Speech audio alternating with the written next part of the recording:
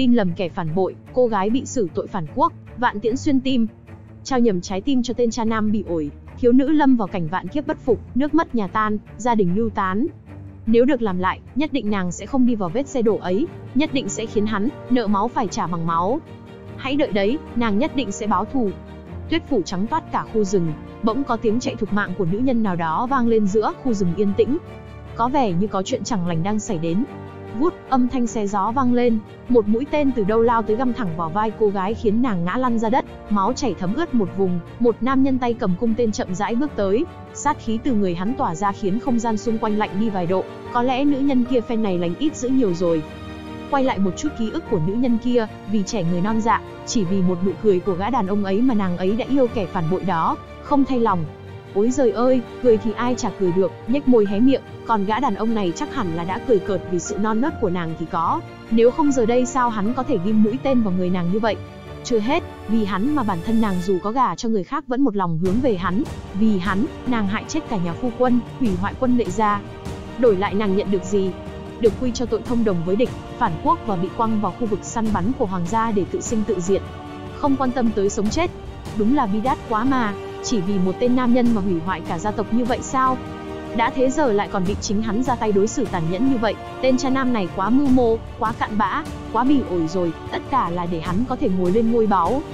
Còn phu quân của nàng, người thực sự dành tình cảm cho nàng, sủng ái nàng, cưng chiều nàng đến cùng trời cuối đất lại bị vạn tiễn xuyên tâm khi đến cướp pháp trường. Quả là một mối tình đáng tiếc, chẳng lẽ câu tình chỉ đẹp khi còn giang dở là sự thật ư? Tên cha nam xấu xa đẩy văng nàng ra, cầm cung tên lên, dứt khoát tiễn nàng một bước. Trong khu rừng tĩnh lặng, máu nàng chảy đỏ một vùng. Ủa, chuyện mới bắt đầu mà sao đã đầy mùi drama ngược thân ngược tâm, chả nhẽ vào chuyện cho nam chính ngược nữ chính nghèo luôn như vậy sao? Oh no, mọi người cứ cùng admin Manhwa Review tiếp tục nhé. Chuyển cảnh đến mặt Bắc, phủ tướng quân, trong phòng tân hôn nến đỏ lay động, ơ kia ơ kìa.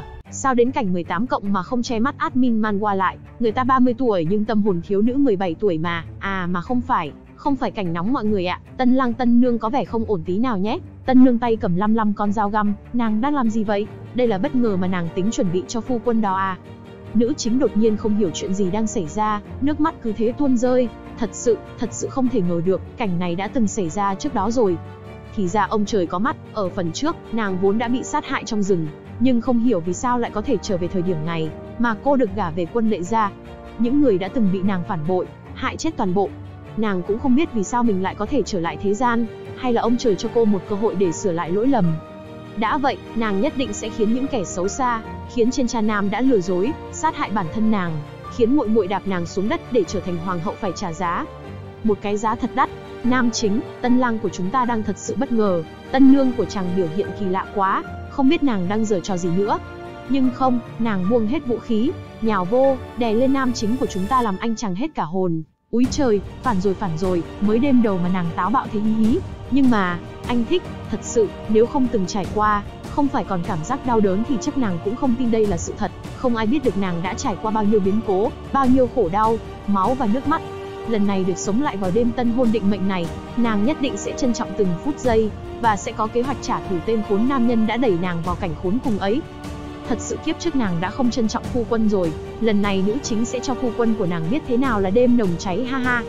Đây là đêm động phòng hoa trúc của vợ chồng son người ta, thì mọi người nghĩ họ sẽ làm gì ạ? Admin manhwa ứ đọc nữa đâu bỏ qua phân cảnh này nhé.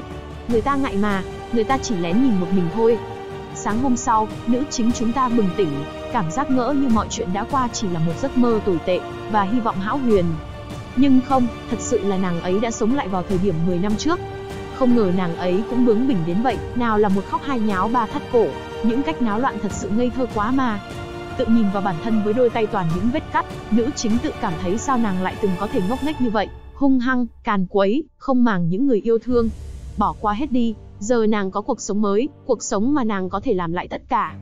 Trên đường đi, nàng va phải tên lính mang tin cấp báo rằng Phụng Phó Tướng, biểu ca của phu quân nàng kiếp trước mất tích hơn một tháng, phụ quân của nàng là Lệ Ngọc mang lính đi cứu, nhưng chỉ đưa về được thi thể của huynh ấy, đã vậy nam chính của chúng ta còn bị thương nặng nữa.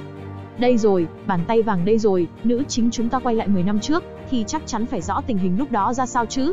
Để xem nàng ấy sẽ vận dụng ra sao, thấy chết không cứu hay nhắc nhở hịch tuệ. Trong trí nhớ của nữ chính, kiếp trước, Phụng Phó tướng Phụng Lam Huynh bị trúng độc bích diệp cầu sỉ, bởi không được chữa trị kịp thời nên mới không còn tính mạng. Loại độc dược này vô cùng kỳ lạ bởi cả người nó có màu xanh ngọc, thích luồn lách trong tuyết, nhìn từ xa thì giống một chiếc lá xanh, vì cơ thể nó có độc, và lại rất giống rắn trắng cầu sỉ trong điển tích thần thoại cho nên được gọi là Bích Diệp cầu sỉ. Bỏ qua thuyết minh về độc dược đi, chuyện cấp bách mà nàng phải làm bây giờ là điều chế thuốc giải, chỉ mong có thể chế ít thuốc đuổi rắn, giải độc, giấu trong hành lý để phu quân phòng thân. Chuyển cảnh đến cổng thành Dương Lĩnh, đại quân do tướng quân Lệ Ngọc, phu quân của nữ chính, đệ đệ Lệ Hành của hắn dẫn đầu đang chuẩn bị xuất phát, khi nữ chính chúng ta loạn choạng bay tới chặn đường. Nàng đáp xuống, ngã vào lòng nam chính, vừa thở dốc vừa đưa hộp đồ cho Lệ Ngọc, trời ạ, triền miên bên nhau một đêm như vậy rồi mà nam chính chúng ta vẫn còn không tin nàng. Hắn vừa lạnh nhạt vừa đề phòng bên trong hộp có ám khí. Có điều, nàng không bận tâm, sống thêm 10 năm thăng trầm rồi để ý mặt mũi làm quỷ gì nữa, hắn dám không nhận đồ, nàng dám đòi hôn trước mặt ba quân nữa đó. Lệ Ngọc đỏ mặt phía tai, thầm nghĩ người phụ nữ này bạo dạn trên giường thì bỏ qua đi nhưng mà trước ba quân mà, cũng phóng khoáng như vậy, quả là không thể chấp nhận nổi. Nếu không phải vì đang ở trước ba quân, thì nhất định hắn phải chấn chỉnh nàng ngay mới được.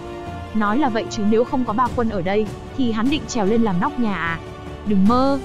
Thôi thì cứ tạm nhận đồ vậy, không thì nàng ấy có mà làm rối tung lên. Bất ngờ, con đại bàng hung dữ do Lệ Ngọc nuôi lao xuống, trái ngược với suy nghĩ sung sướng khi thấy người gặp họa của nhiều người, cho rằng nàng sẽ bị nó cào bị thương, thì nó lại ngoan ngoãn đậu trên vai nữ chính của chúng ta. Lại còn bị nàng khen là dễ thương khiến cả người cả chim đứng hình. Vậy là đúng rồi, đại bàng gặp sư tử thì tuổi gì sánh vai đúng không các bạn? Khen chim dữ là đáng yêu, không hề kiêng nể mà hôn phu quân trước bàn dân thiên hạ. Không ngờ nữ chính chúng ta có thể tân tiến, đến vậy. Sống lại một kiếp có thể khiến thay đổi một trời một vực như vậy sao?